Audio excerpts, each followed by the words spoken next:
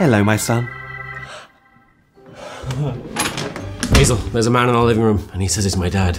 No, he's a preacher. My dad's a preacher? He's here so we can confess our sins, Tom. But we haven't committed any sins. Well, except for. Oh no! Father, we have something to confess. You see, we. Excuse us. You stabbed me. You can't prove that. Tom, you're literally red handed. I'm going back in there. Father, look, we have. What? What happened? I guess you fell asleep. Why are you wearing boxing gloves? Why are you wearing boxing gloves? I'm not wearing. God damn it. Tom, I am doing this and you can't stop me. Father, we have fallen from grace. Fallen. Father, we. Father. Father. Tom! I just wanted to say. Smoke bomb! Tom. Take the shot. Take the shot!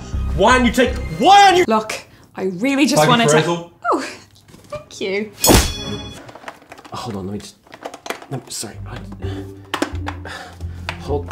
Just. Okay, wait. uh, Um. Okay. Father. No! Father. No! Father, we had sex before marriage. Well, that's not so bad. Huh. Also, I gave birth to the Antichrist. Excuse me? Do you want to meet her?